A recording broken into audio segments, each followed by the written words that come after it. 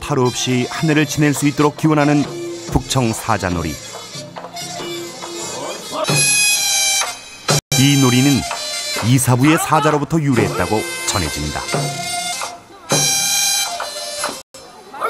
우리가 지금 사자놀이 하면 흔히 북청 사자놀이를 얘기하는데 이 북청 사자놀이는 그동안 있었던 여러 사자춤, 역대에 있었던 여러 사자춤들의 모습을 아주 종합적으로 집약해서 갖고 있는 우리나라 사자춤의 대표적인 거죠. 그래서 고려시대 나래처럼 또 이사부가 적을 위협할 만큼 그 위험 있고 무서운 모습 이렇게 해가지고 집집마다 가서 귀신을 쫓아주고 복을 빌어주고 하면서 그 뭐 우리가 흔히 말하는 지신밟기 이것을 사자를 앞세워서 한 것이 북성사자놀입니다.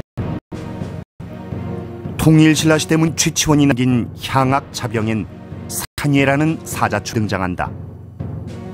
사막을 건너 먼 곳에서 흘러와 옷의 털은 다 젖지만 머리와 꼬리를 흔들어 어짐과 동망을 펼치니 그 기운이 다른 동물과 다르더라. 벽사적인 기능을 하게 되는 것은 이미 이사부 이 모구사자로부터 암시가 있는 것이죠.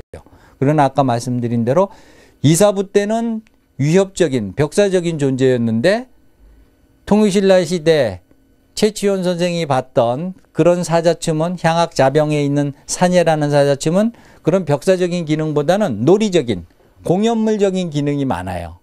어, 그래서 공연물적인 기능이 있다가 고려시대 오면 다시 그 나래에 놀면서 벽사적인 것과 함께 연희적인 놀이적인 요소가 있었고 조선시대에 들면은 중국 사신 영접하는 행사 이건 놀이적인 요소겠죠. 조선 정조 때 수원 화성을 완공한 후 열린 축하 행사에도 타자춤이 공연됐다.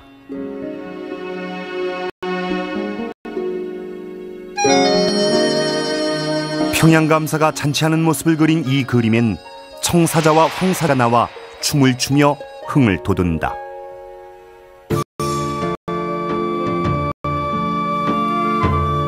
조선 후기 실학자 이기 쓴 성호 사설엔 사자놀이가 이사부로부터 유했다는 기록이 나온다.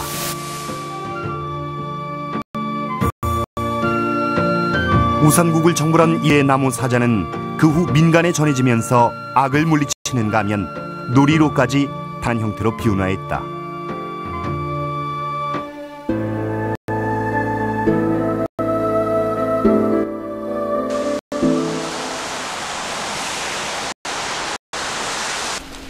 현재 강 KBS가 자리 잡은 이곳은 강릉 지역의 열두 신을 모신 대성황당이 있던 자리다. 여긴 지금도 대성황당의 산왕숲이 그대로 남아 있다. 과거의 그 대성황당의 자리가 아, 바로 어, 요 자리가 되겠습니다. 예. 그 앉아 있는 음, 그 건물이 예, 이, 이쪽 건물이고 지금도 요 앞쪽으로 예. 그 대성황당의 선왕림이라고 할 수 있는 나무들이 저렇게 굵은 예. 몇백 년 된 나무들이 아직까지 현존해 있고 1900년 초까지만 해도 대성황당은 강릉을 지키는 주신을 모신 곳이었다. 한 일제강점기 일본에 의해 철저하게 파괴돼 사라졌다.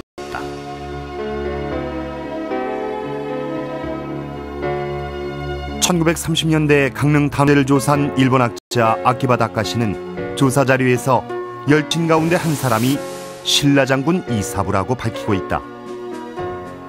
동해안 지역의 해상 장악력을 동시에 구축을 했고 그 과정의 하나로서 우산국을 정벌하고 또 그러한 그 위험이나 또 이사부 장군의 업적이 또는 그 치적이 이 지역의 주민들의 관념 속에 늘 살아서 존재했던 걸로 어, 보여지고 그것이 다시 민속 신앙 속에 하나의 인격 신화하는 과정에서 이사부 장군을 대성황사에 모시는 즉 신격화시켜서 모시는 아, 그러한 그 과정에서 어, 이사부 장군이 강릉 단오제의 대성황사 주신으로 어, 숭앙되는 그런 과정이라고 하겠습니다.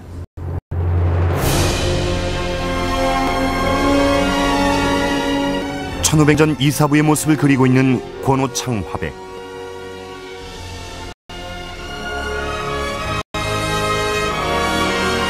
이사부의 역사적인 활동과 시대적인 고정을 통해 이사부 모습을 하나하나 그려가고 있다. 지금이 산어 또 강릉 그 군주로 활동하던 시대가 한 20대 정도의 나이였는데 그때로 할 것인가 아니면은 어 병무령으로서 그 나이가 많은 시대 가서 활동하던 그 진흥왕 시대의 인물 할 것인가 그 부분에 대해서 상당히 그 토론이 깊습니다. 그래서 결국은 에, 울릉도를 복속시키는 활동의 가장 정성기였던 한 20대 후반에서 30대로 하자는 그 연령대를 이제 결정지었고요. 울산국 정벌에 나설 당시 이사부의 나이는 혈기왕 환 20대였다. 삼국사기에 따르면 선 김씨, 내물왕의 사세손이다. 박씨, 김씨, 석씨가 번갈아 왕위를 이어가던 신란 내물왕대에 와서 마립간이라는 왕호를 사용하며 김씨 왕조를 확립했다.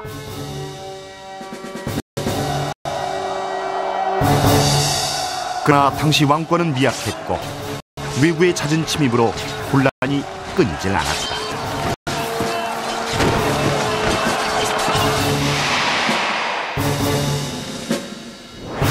신라는 고구려의 구원을 요청한다. 신라왕을 백성으로 삼았다는 기록은 당시 신라가 고구려의 영향권이었다는 결정적인 단서다. 고구려는 장수왕대에 와서 더욱 강력한 남진 정책을 펼치고 있었다. 신라를 거쳐 가야 지역까지 깊숙이 진출한 고구려는 5세기 한반도의 실질적인 주인이었다. 신라의 왕을 고려가 좌지우지할 수 있을 정도의 관계가 됐습니다. 해가지고 신라의 어 17대 왕의 그 실성왕이라는 왕인데 그 실성왕이 어 고구려에 의해서 어 세워졌다가 또 나중에 에 19대 눌지왕이라는 이 눌지왕도 고구려에서 세워졌다가 하는 그런 신라의 왕을 어 고구려가 마음대로 좌지우지하는 450년 지금의 삼척 지역에서 고구려 장수가 살해되는 사건이 발생하면서 신라와 고구려의 관계는 악화된다. 481년에 가면 이제 내륙으로 오늘날의 어, 청주 그 지역까지 고려가 차지를 하게 됩니다.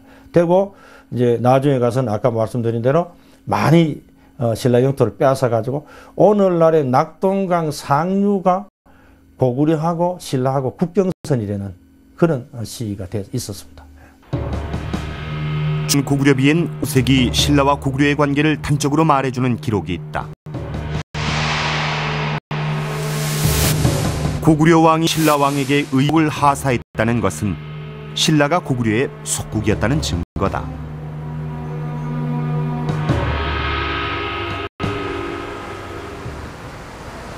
410년 자비왕 때 축성된 3년 산성은 그 이름도 성을 쌓는데 3년이 걸렸다는 데서 유래했다. 성 높이가 무려 10m가 넘는 3년 산성은 돌을 이용 쌓은 대표적인 신라 산성이다. 정상에서 사방 한눈에 내려다 보이는 이 성은 경주에서 한강 유역으로 가는 길목에 있는 최고의 요새였다. 바로 이곳을 거점으로 5세기 후반 신라는 한강으로 나아가 고구려를 압박하기 시작했다. 3년 산성은 신라의 북진 기지였다.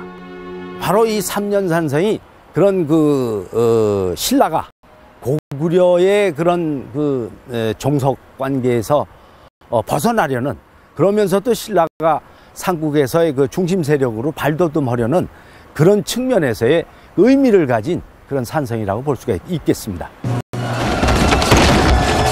5세기 중반부터 신라는 고구려의 남하를 막아내고 북진을 뺀다. 3년 산성을 내륙의 저지선으로 삼아 고구려에 맞서는 한편 동해안의 북방 진출에도 적극적으로 나선다. 당시 신라의 동해안 경을 지켰던 이가 바로 이사부 장군이다.